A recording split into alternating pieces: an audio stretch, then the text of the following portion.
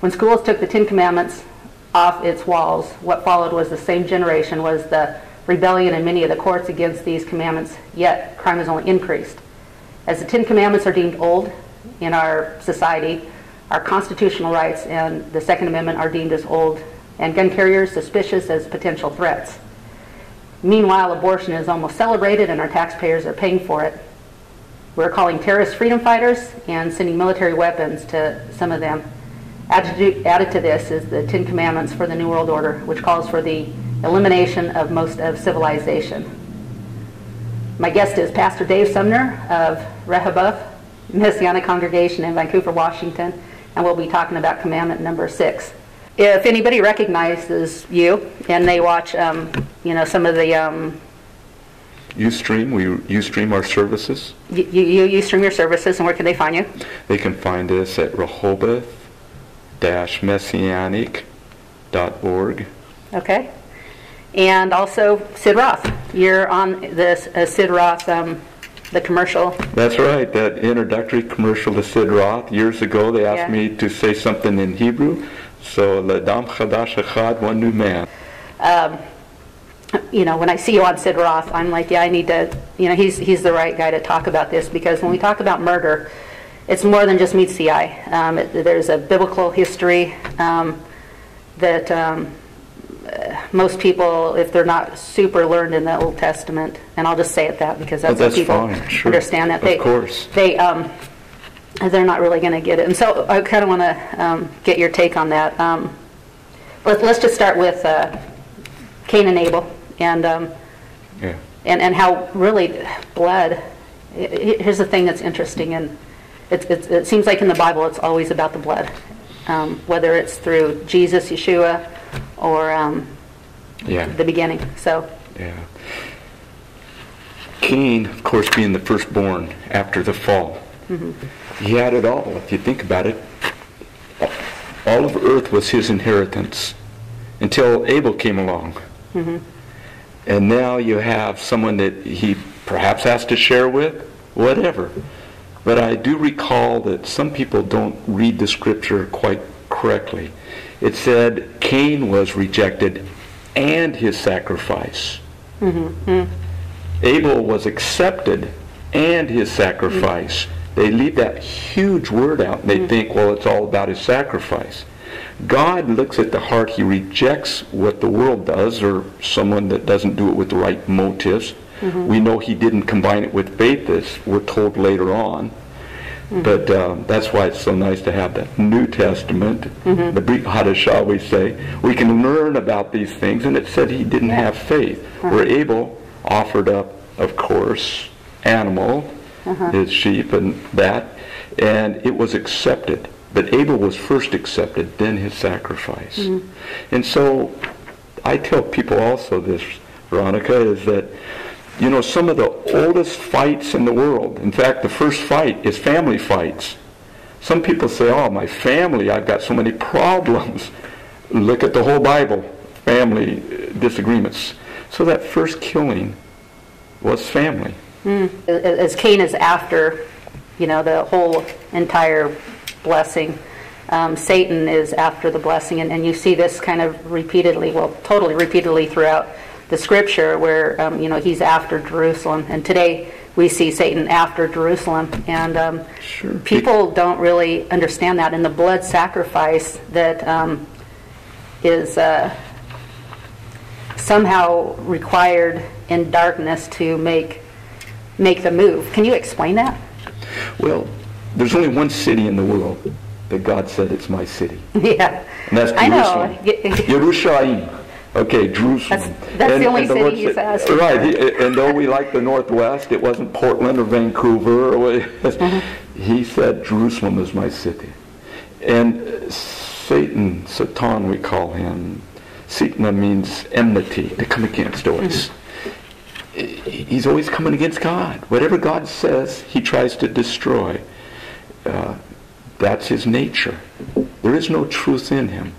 And so when people want to destroy Jerusalem, and there is a hatred that the world, because why else would the world gather against what city? Yeah, Jerusalem. I know. Because- totally prophesied in the Bible.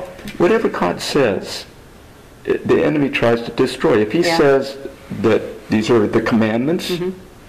uh, then he will try to make man to be God. Mm-hmm. It's an old trick of man. And this is an old trick, or I should say not of man, but of, of Satan. This is the trick. You should be like God. And people say, well, what does that mean? Well, I get smart? No. Understand this, Veronica. And listeners, and this is so important. God decides what is right and wrong. This is not our decision. He has the right to say this is wrong and this is right. When we switch that, then we feel that we are now God, for we have the right to decide what is right and what is wrong, usurping his That's a- authority. Yeah. As a matter of fact, since you brought that up, I do want to bring up these books, and they've been in my other shows when we've talked about the other various commandments. Oh. But these are law books, um, criminal law, different different laws um, that we have formed in the United States, and it has taken over the authority, unfortunately, in our nation of the Ten Commandments. Now here we have 10, uh, 10 commandments, 10 laws. Um, a lot easier, and I, I, I, I guess I, I've heard that um, there's 613 commandments, of which only about only about three of them you keep until there's a temple. Um, so let's say let's just say roughly 300 commandments. Is that fair? Or do you wanna- Many of them pertain to Israel. Mm-hmm. Many of them pertain to the temple. Okay. And so, um, would, would you say three of them we could use in our country instead and get rid of these? Would that Oh, be I could say, that? yeah. I'm going to tell you, uh, we can boil it down to one law. Love, love the Lord, two of them. Love the Lord your God with all your heart, right? Mm-hmm. And with all your soul and all your might. But he also, Yeshua, Jesus, added another one that's important. Love your neighbor as yourself. Mm-hmm. When we do that, this represents what this is trying to do. Yeah. I don't mind if someone tries to restate it in common terms, Mm-hmm. like, you know, breaking the law, doing 90 and a 25 or something, you know, because they're doing it for the safety of people. Mm-hmm. They're doing it for the good of people. But when we try to revalue what God said is right, that's where we get in trouble. Mm-hmm. Yeah. If he called, if he said, thou shalt not murder, then people have a lot of excuses. Understand this. I don't know if I should take it this way, but they're called the ten sayings or the ten commandments of God. And I like to look at it this way. Ten is important. It means accountability mm. if you want to look at numbers and stuff. Mm-hmm. He gave you ten fingers. Mm. All right? You are accountable for what your hands do. Mm. Okay? Man doesn't want to be held accountable for what they do. If you take a look at it, people will murder and then hire attorney or whatever to try and get them out of that. Man will do things with their hands and say, well, let's go back to Cain. You know, when God says about your brother and cast judgment on him, you know what Cain said? It's too hard on me. Hmm. Well, wait a minute. He didn't even mention he killed his brother. Yeah, yeah. Isn't that like people that will Yeah. do that? They will break the commandments, and they there are ten fingers. By the way, you have ten toes too. Yeah, yeah. You're accountable for what your feet do. How beautiful are the feet of him who brings good news, right? Yeah. Because you are. See, God did that. Uh. God put ten days between Rosh Hashanah, that's the Jewish New Year, and Yom Kippur, the Day of Atonement, when you stand before God. Ten. Why? So that you can prepare yourself and be held accountable. Mm-hmm. Yeah, yeah. And I want to I want to get to the video. Okay. And the uh, it seems like in the '60s. I know it started before then when communism started, you know, coming into our nation. Um, Yes. You know, but it was very small. And then in the '60s with the Weather Underground and the, um, you know, there's there- there's a lot of things that happened, you know, as you know. But one of the things that happened was they took prayer out of uh, schools, and I I forgot to bring my chart out, but um, there's been a really um, a huge assault since 1962. They took prayer out of school. So I want to show um, what else happened um, in the 1960s, and we're going to watch this video, and then we'll come right back.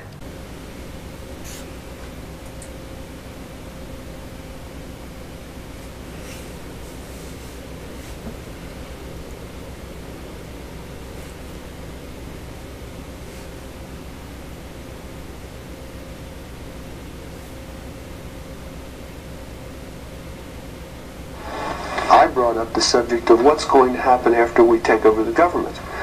Uh, you know, we we become responsible then for administrating, you know, 250 million people. And there was no answers. No one had given any thought to economics. How are you going to clothe and feed these people? The only thing that I could get was that they expected that the Cubans and the North Vietnamese and the Chinese and the Russians would all want to occupy different portions of the United States. They also believed that their immediate responsibility would be to protect against what they called the counter-revolution. And uh, they felt that this counter-revolution could best be guarded against by creating and establishing re-education centers in the Southwest, uh, where we would take all the people who needed to be re-educated into the new way of thinking and teach them how things were going to be. I ask, well, what is going to happen to those people that we can't re-educate, that are die-hard cap- capitalists? And the reply was that they'd have to be eliminated. And when I pursued this further, they estimated that they would have to eliminate 25 million people in these re-education centers. And when I say eliminate, I mean kill. 25 million people. I want you to imagine sitting in a room with 25 people, most of which have graduate degrees from Columbia and other well-known educational centers, and hear them figuring out the logistics for the elimination of 25 million people. And they were dead serious.